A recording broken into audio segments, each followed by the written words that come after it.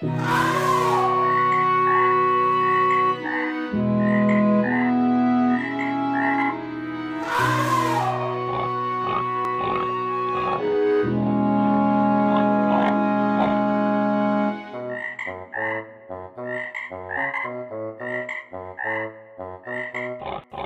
friends enjoy the best of days. They eat and walk and chatter. The three were set in other ways. Nothing was a matter. But one fine day the frog changed things. He climbed a tree to see what might be found where magic sings. The food and fun is free.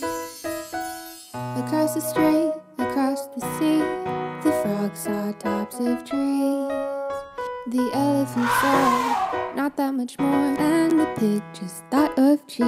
Mm-mm. The thought of food and different worlds gave pig and frog a plan to swim the strait and find new things. They shouted, "Yes, we can!" So the swim was fine, the sun shone bright. The swim had started well, but currents and clouds came up, and the friends needed a spell. They rested for a little while, they rested there forever.